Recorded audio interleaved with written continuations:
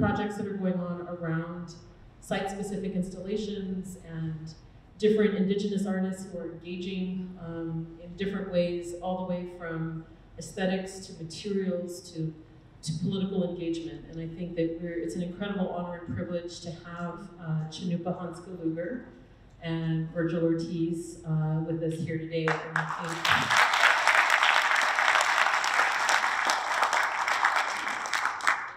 Um, you'll see that in this conversation today, which we um, anticipate will be exciting, um, that they're, they're really doing some incredible work um, in their fields.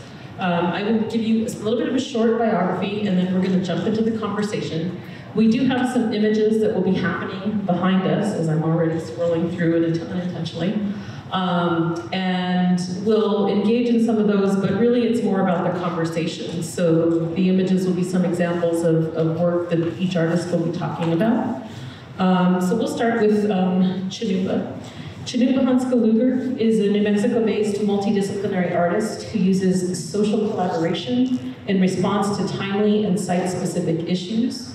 Raised on the Standing Rock Reservation in North Dakota, North Dakota, he's an enrolled member of the three affiliated tribes of Fort Berthold and is of Mandan, Hidatsa, and Arikara Lakota and European descent. Luger produces multi-pronged projects that take many forms through multiple ins monumental installations that incorporate ceramics, video, sound, fiber, steel, new media technology, and repurposed materials. He interweaves performance and political action to communicate stories about 21st century indigeneity. This work provokes diverse audiences to engage with indigenous peoples and values apart from the lens of colonial social structuring, and often presents a call to action to protect land from capitalist exploits. He combines critical cultural analysis with dedication and respect for the diverse materials, environments, and communities he engages. Uh, his honors and awards are too long for me to list here. Um, you can Google it if you're interested. Um, I will say that uh, as a Smithsonian Fellow and also working as a Creative Capital Fellow, um, that he has engaged on multiple levels across many different platforms, um, both academic and also uh, community-based. Virgil Ortiz combines art, decor, fashion, video, and film. He's one of the most innovative potters of his time. Ortiz's exquisite works have been exhibited in museum collections around the world. Again, that list is too long to mention here, but trust me, it's long. Um, he is the youngest of six children. He grew up uh, in a creative environment in which storytelling, collecting clay, gathering wild plants, and producing figurative pottery was part of everyday life. His grandmother, Lorencita Herrera, and his mother, Seferina Ortiz, were both renowned potters and part of an ongoing matrilineal heritage. Ortiz keeps Cochiti pottery traditions alive, but, but transforms them into contemporary vision that embraces his Pueblo history and culture and merges it with apocalyptic themes, science fiction, and his own storytelling. Virgil has been working on an epic narrative project for quite some time that reconsiders the Pueblo Revolt and represents how we can imagine history also having an impact on the way that we think about the future. And I think that's a really interesting segue to lead right into our first question and sort of thinking about um, how we, how we're gonna move forward in the conversation. But the reason why we have Virgil and Cannupa here together is because they both have been, have participated in our um, visiting artist uh, project. And so they've each been invited by the museum, Virgil in 2016 and Cannupa in 2021, to basically re-envision our lobby space and to give us the opportunity to see uh, their work in progress. And so I am inviting each of them to just talk a little bit about their installation in the space and how it's been part of some of their broader um, projects that they've, they've created both here at the museum, but then also in other exhibitions and other offsite. It's fascinating to me that both of you, in the installations that you've done here, they've been part of a much broader uh, project and narrative that you worked on. So I'll, I'll hand it off. Maybe Virgil, we can start with you since you did the 2016 installation. Okay, cool. Just want to say thank you for everybody uh, coming and supporting us and uh, Jimmy for the invite. Finally, like we're hanging out together. We actually like interacted closely for a long time. We've known each other for a long time, but this is an awesome uh, first time. Yeah, Yeah, I mean, like with both of us, it's, it was it fits into both of our narratives and uh, the installations in the museum. So when at that time, um, what all my work is based on is is uh, educating the world about the 1680 Memory Vault. Uh, you, you guys all know what it, what it is. Um, a lot of people don't know what it is, like especially here in New Mexico, uh, where it, it happened. And it's America's first revolution. People don't call it that because of the genocide that happened to the Pueblo people. It's not taught in schools, it's not in our history books. So um, I felt that the reason why I'm here is to uh, use art to educate uh, everybody about it. So I began writing a screenplay um, more than two decades ago, aging ourselves right now. But uh, it just kind of slowly started building, was super uh, inspired by uh, sci-fi uh, movies like Star Wars. Like I was thinking, I was like six or seven when I first seen the first Star Wars movie. So I started to reimagine, well, without reinventing the wheel, about how I could use art and imagery and characters to um, uh, attract a lot more people, especially the younger generation, uh, how I was attracted to all these cool uh, sci-fi um, characters. So I, I, ended up creating 19 different groups of characters that represent the 19 pueblos that are left in uh, New Mexico today. And uh, I wrote it uh, happening simultaneously in 1680 and also 2180. Um, so that it's allows me to create sci-fi characters. So uh, the head character, her name is Tahu She's leader of the Blind Archers. So she's a real important character um, in the whole screenplay, and she uh, for Women Empowerment, and uh, she was um, one of the reasons why I wanted to like give the uh, the women, children uh, uh, in public society uh, kind of like a superhero. So when I got invited to do the installation here, I wanted to bring the, the characters, the aeronauts, and we focus on that, on those characters, but the aeronauts are the Pueblo people in the future, and they are coming back to the past and the present, and they're all collecting artifacts and shards and designs and songs and ceremonies and taking them back to the future, storing them, protecting them, so that when we get to 2180, we, all of our, uh, our culture, our ceremonies and songs are still alive in our designs.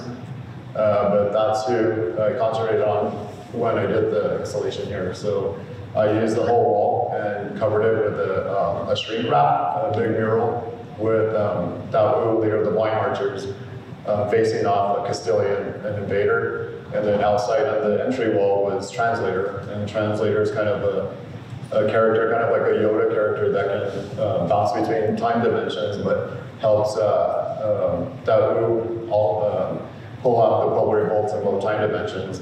And of course, um, addressing uh, Pope, who is the leader of the Pueblo Revolt.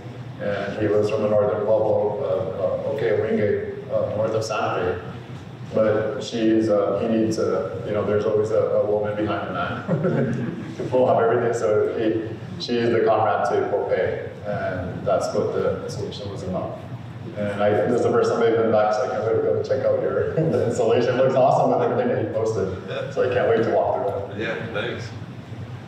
Um, so mine is here right now. Uh, it's right outside. It's an installation um, uh, that the translation of it is the Fat Taker's world is upside down.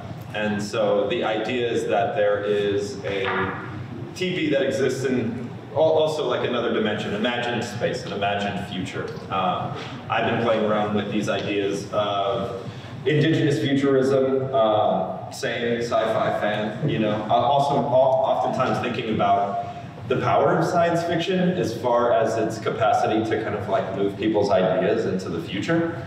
And um, being a science fiction fan, rarely do I see representations of myself or my culture in that space.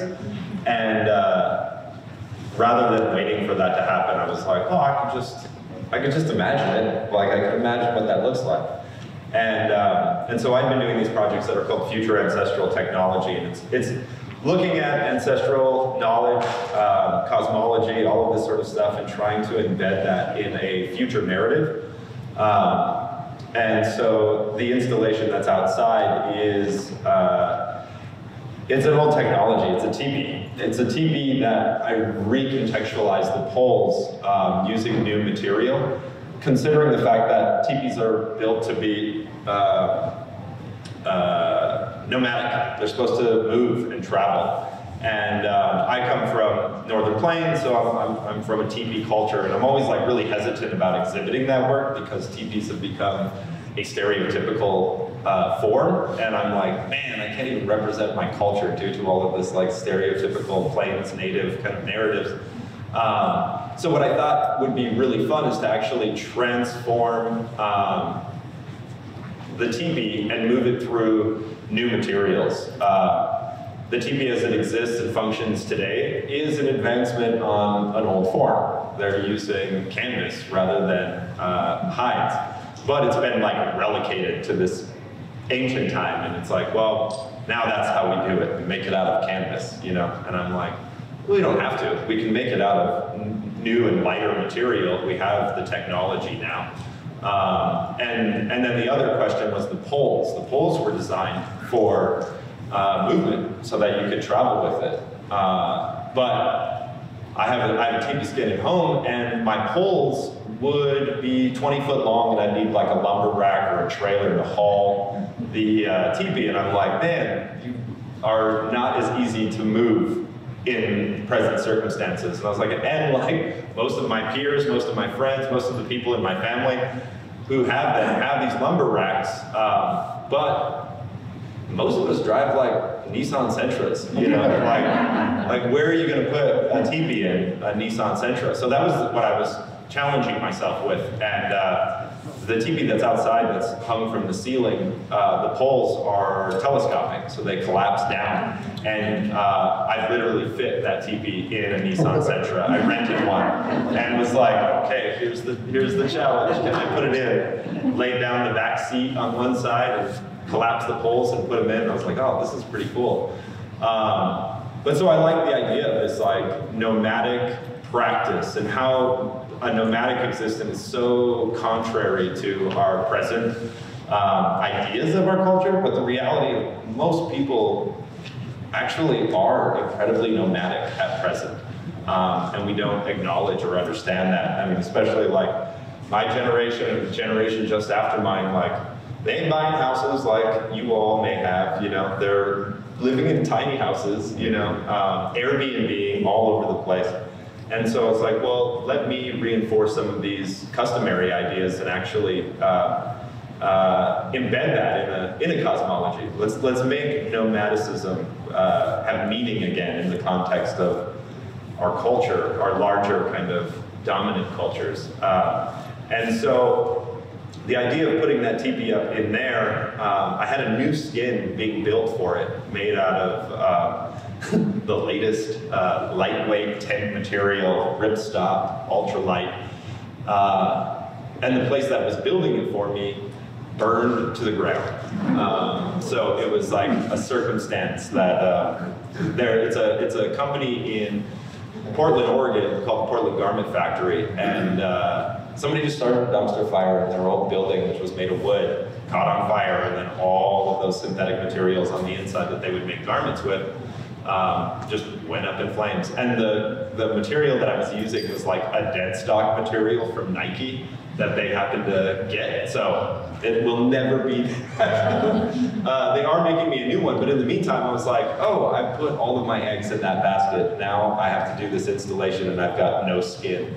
Um, so I chose to use like a, a crinoline or like a tulle, like this lace net material and ended up sewing that piece in my house. Um, never actually sewing a teepee skin before, but I was like, well, now's a good time to learn.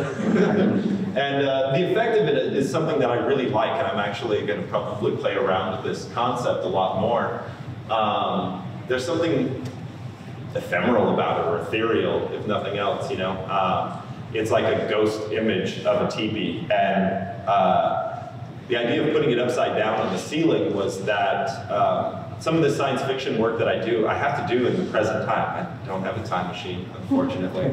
So a, a lot of how this future of ancestral technology projects lay out is I go camping in like post-industrial sites with my family, and we wear regalia that's like a part of this imagined future. And um, and so I'm constantly like repurposing material to be a part of that cultural context. and the teepee that's outside, um, I've done like a few performances and stuff like that. In those performances, I have to imagine my audience not there, or my audience as ghost, so that I'm moving through a space and everybody who's there and present is already dead. Like they don't exist anymore because I'm existing in a different time as a performer. Um, and this was a way that I thought I could get away with that same idea by inverting it, placing it on the ceiling, um, staining and dyeing all of this uh, uh, wool. There's tons of wool that's out there. Um, that wool was repurposed from Albuquerque. Uh, the submaterial uh, in Albuquerque makes like soundproofing, and they get this industrial wool from Germany. And I go and pick up a, like hundreds of pounds of their remnants and uh, dye it if I have to or reuse that. So my practice is always built around what materials I have access to and I try to get them um, as waste materials. So I'm repurposing them. So the whole ceiling, the grass, the star patterns, there's like tons of numerical things that are embedded in cosmology that I'm not necessarily going to share with you all. Um, but there is incredible amounts of intention that's embedded in, in the creation of the teepee and the teepee itself by its design um, has like these kind of cosmic uh, relationships. And so I thought if I made the teepee transparent, um, then it is completely out of reach of everybody in the present. And so putting it on the ceiling and inverting the entire world um, is kind of how it's represented right now. And I have to admit, I was completely enthralled and wanted to figure out all of the symbolism and the and what was happening there. And I, and I think, Cannupa, one of the things that I really learned in the exchange with you when you were doing the installation was that some of that information is not accessible. And Virgil, I'm already going to go off script, I'm sorry. but this idea of the juxtaposition for both of you between your works making certain cultural information accessible while at the same time preserving cultural information that isn't accessible to all of us. And I'm wondering if each of you could talk about that a little bit. Yeah, I would, let me just jump in real quick. I would say it's maintenance rather than preservation. Um, the maintenance of certain information is totally embedded in indigenous cosmology and knowledge. It's, it's not a preservation model like most institutions, museums, and things that we have to engage with, but actually maintenance, feeding, taking care of, learning, and then telling that story to those who need to hear it. So. Yeah, it's like anything you nurture going to grow if you don't feed it. Yeah. Right. Right. So like, yeah, I mean, it's um, the reason why I do uh, like the traditional work that I do is all um, traditional, meaning that we go dig our own clays, we harvest plants to make our paint, uh, we uh, wood fire with aspen and cedar wood and cow So everything is uh, done as I was taught on my mother's side. They're all potters. So um, unfortunately now it's like all of the masters are dying out. And there was like maybe five or six families that were doing it using traditional methods and materials. But um, now everybody in present times, they have kids, they work outside of the bubble. And to use all these traditional methods and materials is very time consuming. And um, they know how to do it, but like, um, again, it's just like if you weren't uh, brought up with it and then got into galleries early and uh, being able to uh, make a living at selling art is really hard to jump in and like dedicate your the whole time to work with the, these materials. So that's what another reason why I feel that I was born is to uh, make sure that that tradition stays alive. And I found that out when I was a kid. I mean, clay was around me um, since I was born. Um, and I, we have pieces like when I was six years old, kind of funny looking, but it was just, um, I did it the whole time. Me, me being the youngest of my family, my siblings, um, a collector by the name of Robert Gallegos from Albuquerque, he would do wine trips. So he would come to the, uh, the Potter's homes and uh, make purchasing, uh, uh, purchases from them. And he had seen, like what Cochiti was known for at the time was a storyteller doll, which is a seated mother carrying babies, or either an animal carrying his babies. And I, I learned how to do that. I learned how to do like traditional pots with the geometrical designs and earth elements painted onto it. But I guess just me having that kind of wandering mind, I started making figurative pottery and uh, uh, started painting them. And I guess what I became interested in fashion. So like when I was like 16 years old, he asked my parents, like he was like, what is, who's teaching this kid how to do all these different types of figures that are not like, you know, that something that you haven't done. And I was experimenting, and that's what my parents had my back said. He's experimenting, so we're you know support him. So he's like, "Can you bring him down to my showroom in Albuquerque?" And at that point, we never happened went there, right? So we uh, packed up, came down to the showroom, and when we entered the showroom, like we we flipped out just because it turned out Bob Gallegos had like the largest uh, collection of historic Cochiti figurative pottery from the 1800s. And the pieces that I was experimenting on looked exactly like them without seeing them. So at that age, I knew exactly what I was meant to do. And um, having Robert Gallegos as a, as a resource for us to go visit and to study these pieces that he had, and like how they're painted, how they're built, uh, and they're all based on social commentary. So like all the when the railroads are being laid in the area, so it brought more people in, right? And along with more people, entertainment came like operas and circus sideshows, and all the potters were capturing them in time, making caricatures of them. So when you had access to Robert's collection, you get to see all these really, really cool, flipped out figurative pottery that were uh, meant to capture these sideshow characters. So there's like Siamese twins, tattooed bodies, there's like all the, the crazy sideshows that you would see in the old uh, traveling circuses. And I somehow I love that type of artwork, so I had those resources. So I started commenting using the same traditional methods and materials, but only thing has changed is time. So now I'm able to comment on politics or you know fashion or whatever I want to do. The door's wide open. So uh, and then like to start creating all these sci-fi characters, talking about the Pueblo Revolt. I wanted to, I designed it to be able to uh, reach out to the next generation of potters, so make it interesting for them. So they, it will spark an idea, and you know they could come to me and ask me, and um, I'm willing to. I mean, I'm open book, so share my knowledge in the hopes that they'll they'll be able to carry on the tradition as well. Thank you. Um, just staying on you for a second, Virgil. Um, one of the things that is fascinating to me for both of your projects is how they are part of much broader narratives that you're constructing and creating across all kinds of interesting materials. And so the the rise against the invasion as we see here and the couple of other images that I've shown, you know, show different iterations that your uh, project has taken in different places.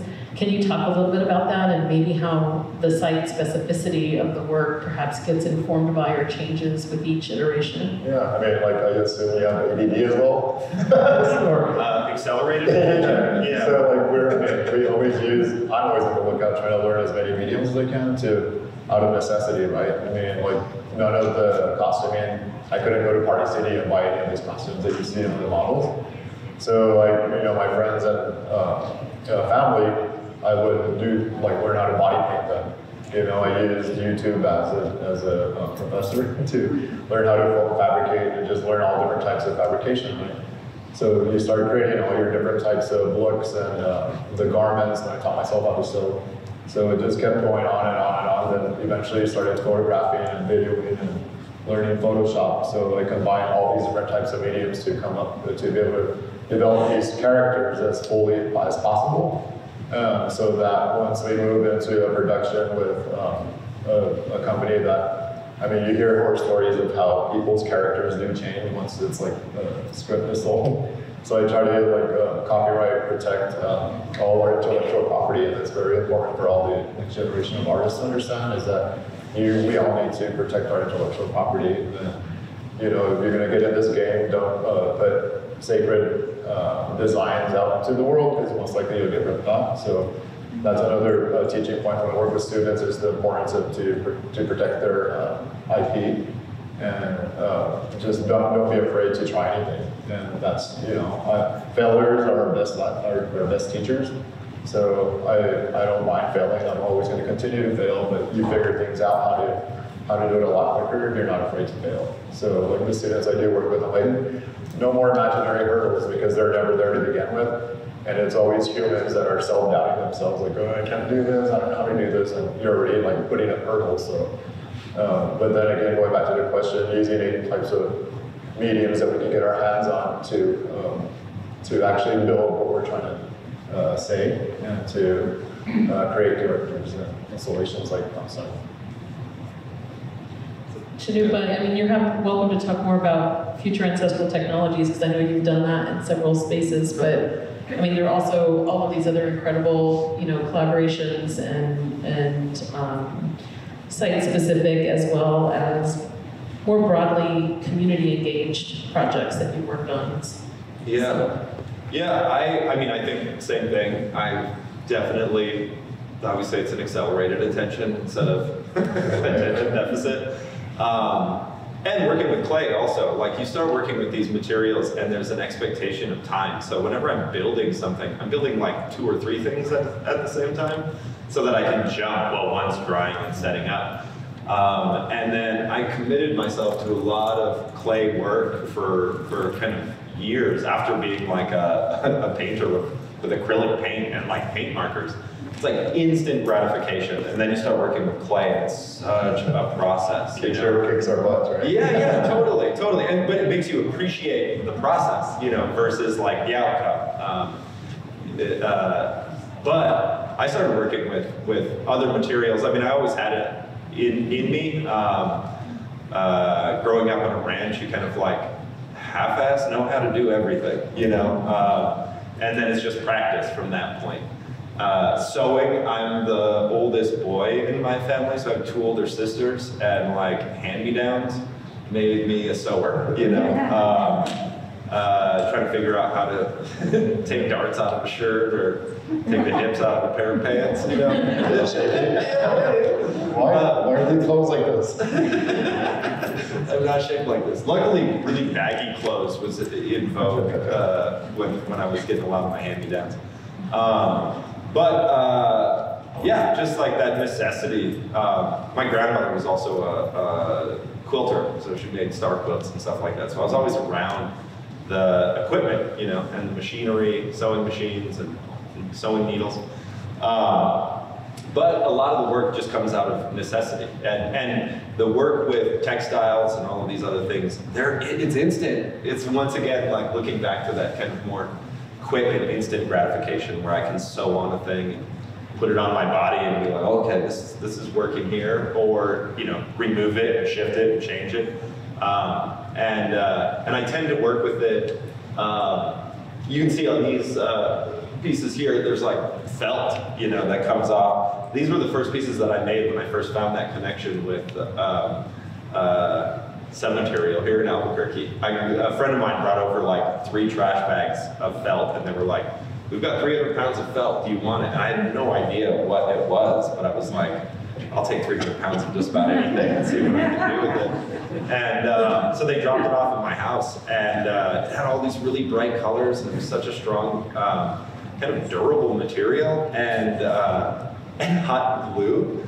It makes an incredible bond with uh, with felt, which I I was like so I'm so hesitant to work with hot glue just because of like the cheapness of crafting and all of this sort of stuff and the weight of that on indigenous uh, art making and stuff. So I was like, I can't use hot glue. So I tried sewing it and then finally gave in and used some hot glue. And I was like, oh, this bonds better than the stitches do. Um, and then that just opened up a whole kind of like instant uh, working with the material.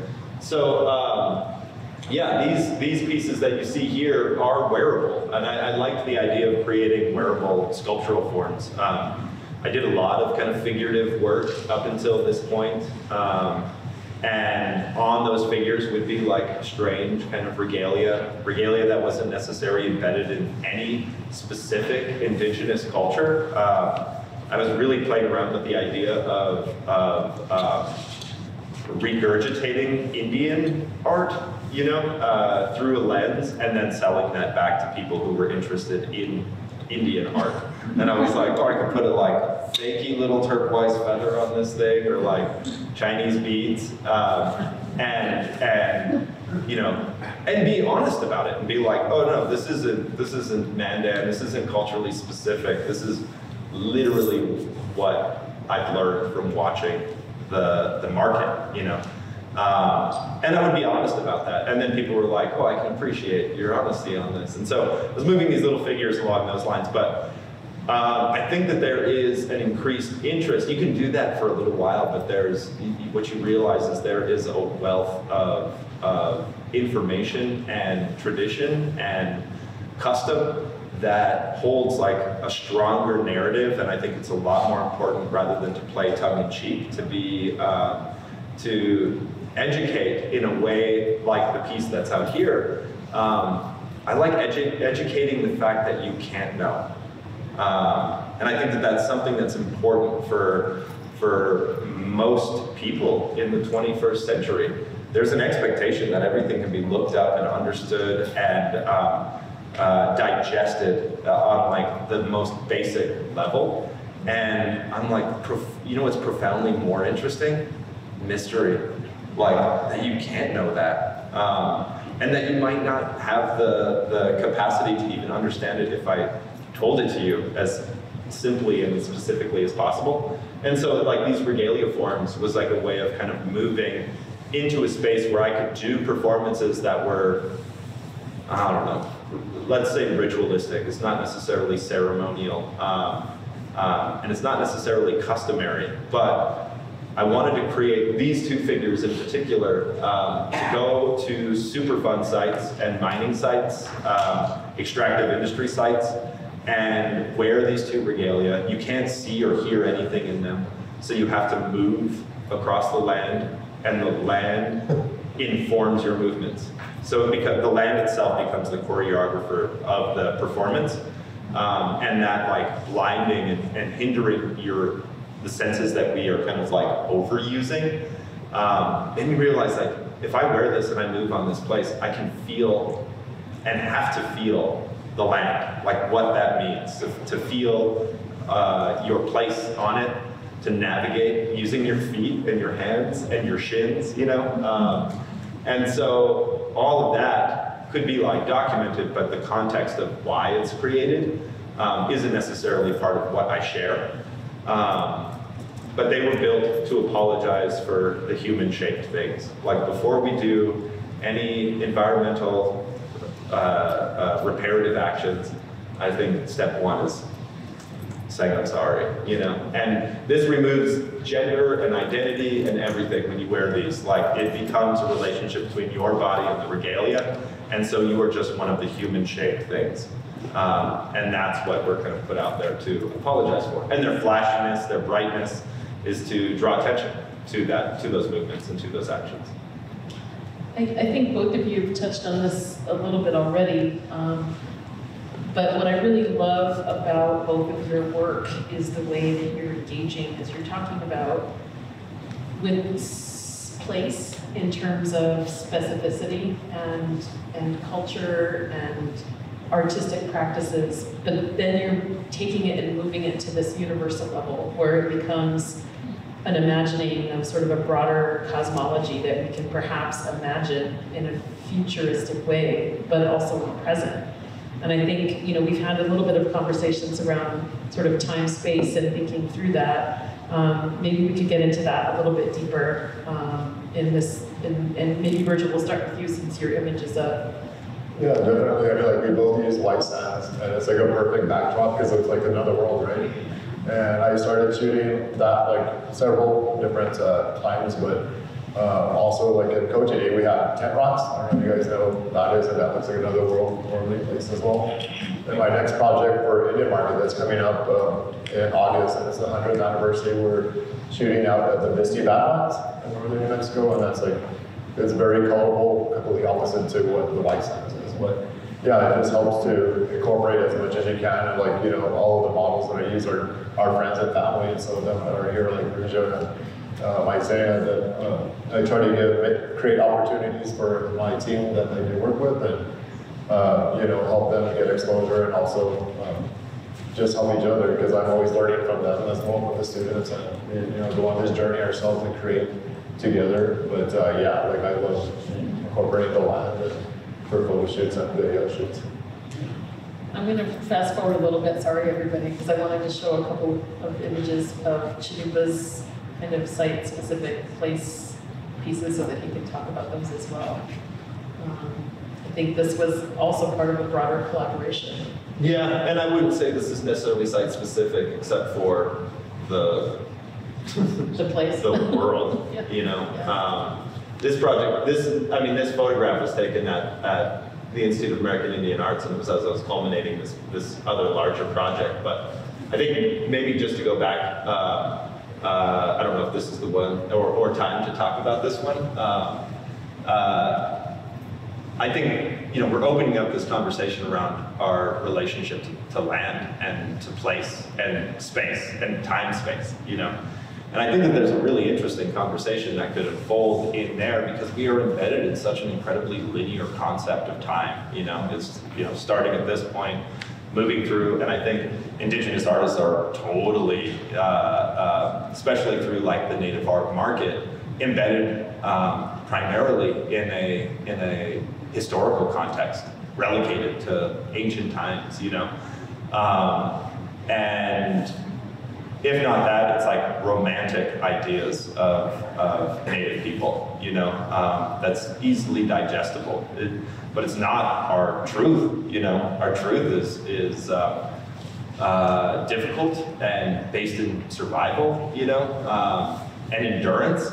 And I think that there's a really interesting conversation around that, not just to indigenous artists, but to us as a population, our relationship to time and space and place. Um, at some point, you know, this imagined future that I that I that I'm playing with, uh, we understand that there is that you can't have it. That the land is not yours. Uh, like surprise, you're gonna die. You're not gonna make it. The cost of life is total. Um, and uh, any concepts of ownership or possession of the land reinforces this idea that you are somehow greater and can be in command of. And then, you know, indigenous people are also forced to reckon with that concept upon contact as things were being taken away. And it's like, what a what a strange concept to try to to try to convince an entire population that didn't have that kind of idea that you could own the land, uh, but that you were an extension of it uh, you belonged to it in a way rather than it belonging to you. Um, and we have to reckon with that in relationship to the annexing of, of, of place, but also now time. Like how, how, strange is it to be embedded in a, in a different time space than everybody else? Um, when I enter into most museums, uh, pri pri primarily like anthropological or historical museums, my culture is spoke about in a past tense, um, which is brutal. It's violent, like it's straight up violent. Um, I remember when I was in school, the only time Mandan people were brought up was during uh, uh, Lewis and Clark uh, and Sacagawea being, being from a Mandan village traveling with Lewis and Clark. And I remember my third grade teacher telling the entire class, and this was like an aside, this was her doing her like, you know, research and, and study and wanted to like hit it home with the with the students in this third grade class that like the Mandan people all died because of smallpox, you know, after that. And uh, I was like, actually, uh, no, they didn't. And she was like, yeah, I'm afraid they did. And I was like, no, literally, I'm, I'm one of them. I'm, there's, a, there's a reservation in North Dakota that I'm a part of, Mandan, Hidatsa, and Arikara. Uh, smallpox wiped out 90% of us, but uh, we're hard to perish, you know, and those who survived it somehow did it by gathering with the Hidatsa and the Arikara, you know, um, to be put on one reservation.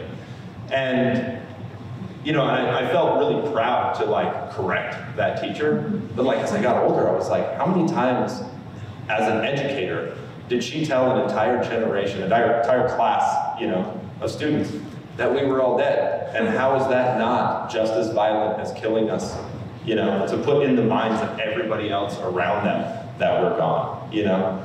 Um, and I think about that. I think about that in relationship to, to how we relate to time in these linear ways. I think uh, Virgil and I are really looking at this idea of time is not linear. Like that there is uh, anything that we gather from our ancestral knowledge is embedded in our present by learning it. And the act of embedding that in your present is to allow it to be a part of a future. And then you know that that future will eventually be the ancestors of somebody else far beyond. And that that information and that knowledge is shared back, that they're referencing back. So that time in our mind is not this linear, consequential kind of thing, but something that slips in between, especially when we're talking about culture. Culture being in flux, culture being changed um, and the adaptation of human bodies in relationship to time and space. Um, and so, yeah, I think the regalia that's created, the culture that's imagined in these things, uh, the ancestors might not recognize it completely, but neither would yours, neither would anybody's, you know. And and there's an interesting um, there's an interesting freedom in imagining a science fiction future and a future uh, that kind of pushes your culture through. That I think like we're what like one of maybe 15, yeah. maybe yeah. futurists yeah. thinking about indigenous space, you know, in future places. Bill and very proud of it. Like uh, now, like indigenous artists are not afraid to speak their mind, not being pigeonholed because like coming from a, a traditional pot, pot, a country potter family, they all expected me to do uh, story covers and pots. So like, uh, uh, very thankful that I was able to get into galleries at a young age, but that's what they wanted. So I think that kind of challenged me as well. Why I started like just branching out and doing whatever, and uh, making making sure that I knew it was going to work, and then just like slowly figuring out all the different mediums and like just you know with everything that, that we see when we visit other countries or cities, uh, the nightclub culture, anything, just take all kinds of influences, but incorporate it into our storytelling. And then now, like the next generation of indigenous artists, like it, it is the futurism that's coming out, and I'm very happy that it's happening because uh, nobody should be, whether you're indigenous or not, should be held back or. Yeah. You know, like it's, it's it's nice to see it, you know, starting to sprout and bloom now. So I think it's really cool that we just keep on, you know, knocking on doors, opening them, you know, paving the road for the next gen.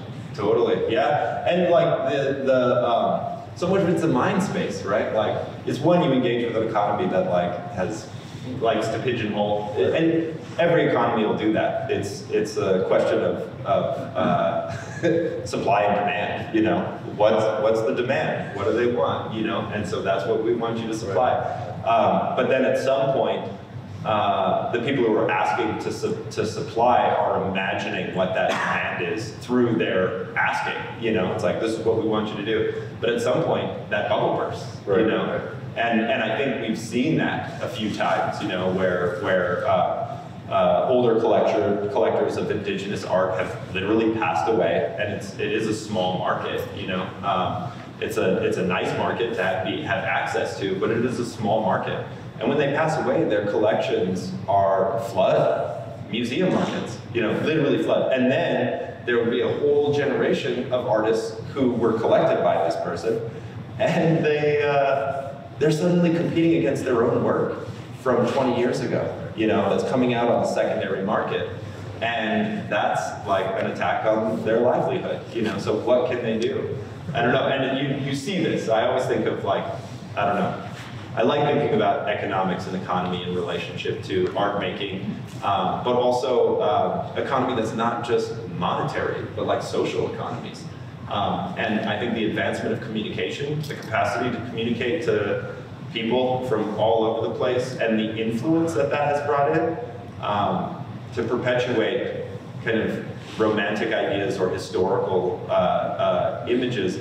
At this point, we're flooded with so much information from so many different places that what you end up seeing is not um, you can't like individualize each bit of that information, but a uh, wash of information, and you end up seeing uh, these kind of connections uh, between cultures that have developed on different parts of the globe, and that always seems that always seems interesting to me, especially developing a science fiction culture, some futurist culture.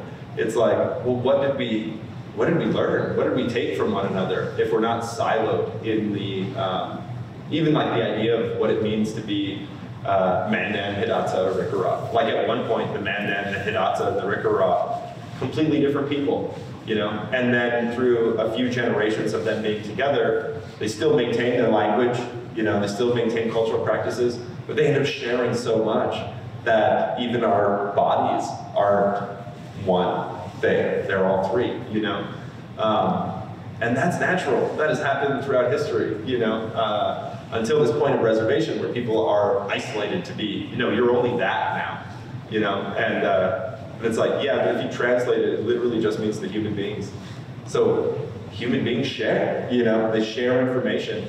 What does it look like if we gather that, that sort of uh, in, information, especially for a nomadic culture that moves from different region to different region? you glean information from people who are sedentary within that place, the protocols that are right for that land, you know, um, and that's all shared. Well, and I think in listening to both of you, hearing, we started out talking about time space, right? And you involved in there also the diversity of materials that you're using and engaging with in different ways. And then now you're talking a little bit about even what is our own identity in terms of our own bodies. And when, if we think about each of those ideas, they're related in interesting ways because, and I think in conversations that we've had in the past, it's each of those elements that manifests in a way that influences how both of you are interacting with future generations and how you're thinking about activism and what activism even means, which you know, what you called activism being human at a certain point. And it's, you know, it's like, no, it's not political, it's just being a human being and caring about the place and the people around me. So, you know, if we think about it in those terms, um, Virgil, going back to you, I know that, that you've been super excited about some of the recent collaborations and some of the groups that you've been able to engage with. Um, could you speak to that a little bit? Like meeting other artists? Or, yeah, yeah, like, and I students and yeah. I mean, it's so cool because like I was raised, you know, uh, within a traditional family in Cochiti, so yeah, clay was there, but uh, and all the traditional methods and materials. But like about five years ago, then I started to uh, when Instagram you know, that was credit credited right because uh, once I started posting, it, like other ceramicists like were noticing like, oh, that's like the, not the type of materials that we use. So I think at that time it was called uh, Periscope. It was like a, a, live sharing app. So we would uh, we built a little ceramics community on it. So we're able to. I was the only indigenous one on it, but it was really cool to watch them in their studios and how they were just unpacking these really beautiful blocks of clay, all nicely packaged. And then when it was my turn, I'm like, you know, crushing my clay and mixing it and, you know, going to show where I dig it. So that was like an immediate connection like that. So I was teaching them how we do it and how I was learning, like, because I never set foot in a ceramics store before. And they were all asking me, like, like what kind of cone do you, what cone do you fire to? I'm like, cone, like ice cream cone? What are you guys talking about? So it's just funny. I didn't know. I didn't go to school for anything. So like the term, terminology was way over my head. I didn't know what uh, you know all the ribs are, and I was like, ribs? What are you guys talking about? With, you know, it's the tool that you, they strike with. And I'm like, like this, and I held, I held up my gourd because our dad would grow gourds and make our ribs. It's the same, the uh, same type of tool. But yeah, like the chance to work uh, and start working at different uh, universities and doing residencies and being connected to all the students and again learning directly from them, but using the high fiber clay because uh, the traditional clay and all the works stays at Cochiti, and that's like the heart and soul of everything that I do. So everything else, all the different types of mediums uh, orbit around the, the traditional clay, but having access to the ceramic store all the kilns and stuff that I was able to go travel to different universities and instantly fire them there, finish the pieces, but also the relationships that are built. Uh, you know, and I'll specifically talk about the Archie Bray Foundation. Um, I had no idea that existed until finally, like, I started making these connections and they invited us up there, right? And I had been talking with the director, Steven Lee, for a while, and just our schedules did not match up, and then the pandemic hit, so that pushed everything back. And I said, okay, like, I'm just gonna go in September, like, fully vaccinated, let's go try it.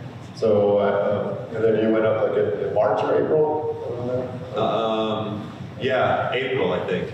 So it's just amazing to see like utilize their all their resources, like all the hydraulic lifts, the kilns, the clay, the studio.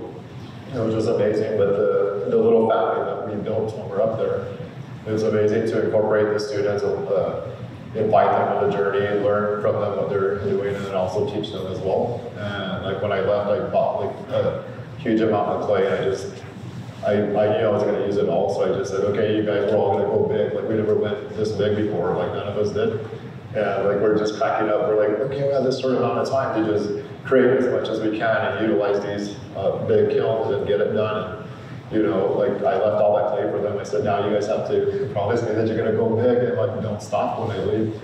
And, like, everybody taking care of each other and just, you know, keep this community going, but it's just amazing to be able to learn and work with students and like, you know, like Chris Casey is another friend from Albuquerque, like I collaborate with on uh, uh, uh, utilitarian work, so like cups and shot glasses and pictures and everything like that. So that collection will be coming out, but it's just amazing to learn how to use molds. I never used molds before. Little cast mold, the way I say that right. just different types of like decals, like where normally the traditional, it'll take me like three weeks to paint on a traditional pot. So it's just, it's, it's so crazy. Like, uh, you know, you can't, I never tried, you probably can't, but I never tried it to put a traditional made pot in the microwave or wash it. So it's like, you have confidence when you do the high fire material that you, you can't do all that dishwasher safe and all. So it's just awesome to learn all that and like to watch uh, to, uh, what you, you created out there. I was like, whoa, no way, this is so cool. Like just how, you know, because it like you get you super excited, right? When you're there, like to be created in the Peter Voulkos studio. Yeah. And I was like, what? Like I know these vibrations around there. I was like, okay, I introduced myself and stated my purpose and asked for help and like for all these different types of uh, messages started to come to me. So my uh, type of work grew really huge.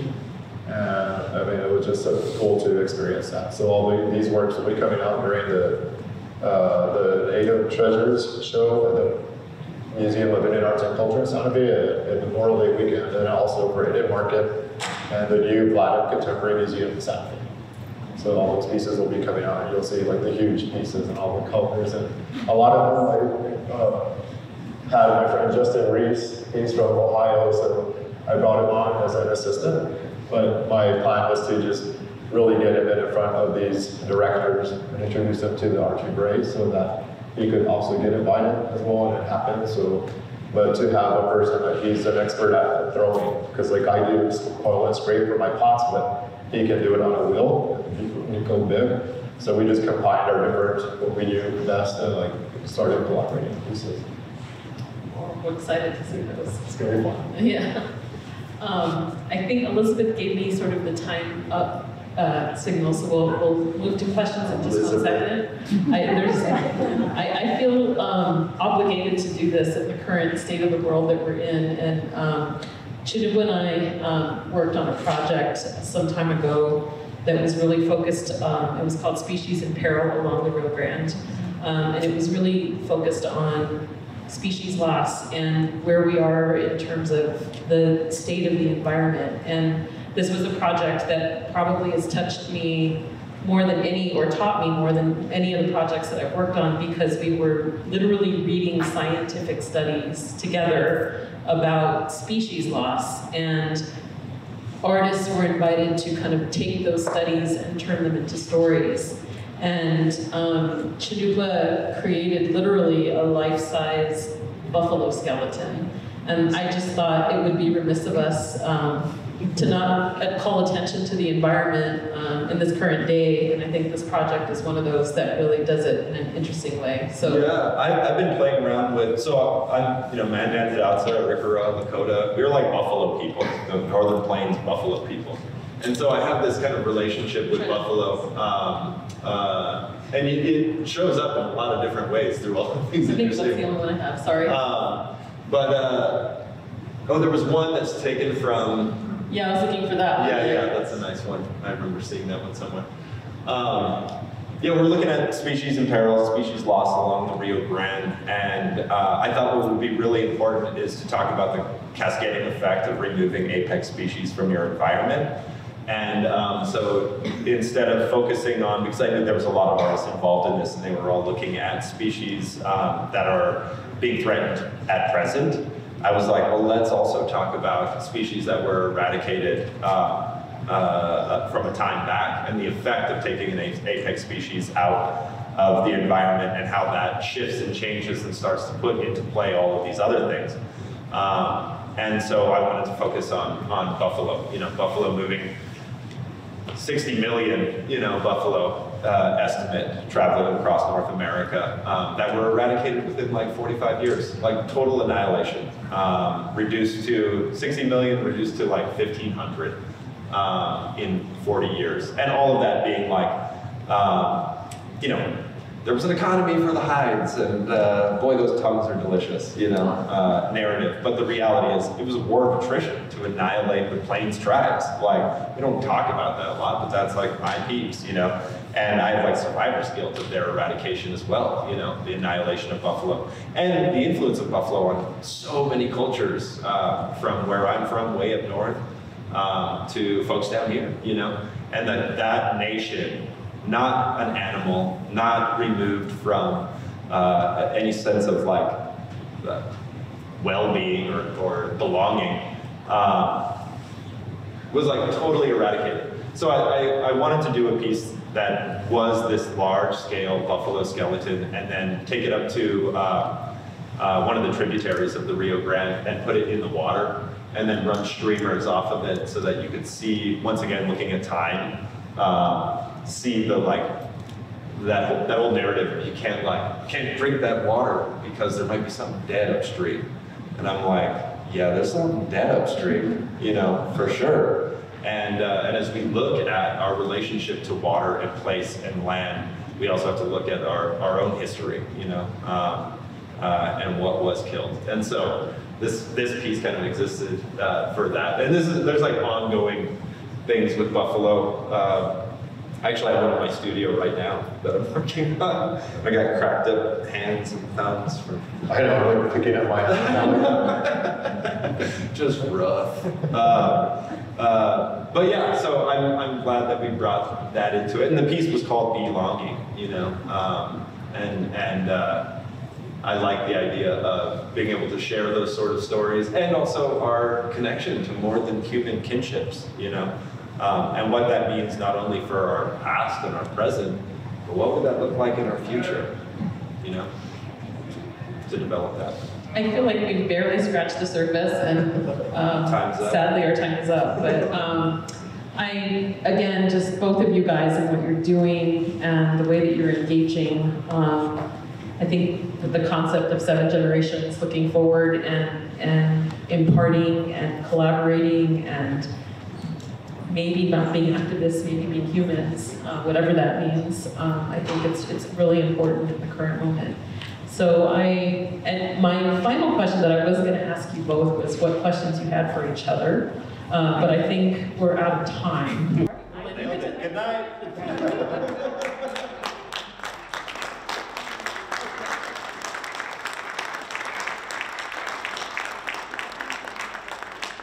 Um, thank you all for coming. Uh, just very quickly, um, Virgil is actually going to uh, stay for a little bit, and so if you, uh, his most recent book um, is in the bookstore, and he will be around to sign a copy if you're interested. Um, and I think that's happening right in the lobby, Elizabeth.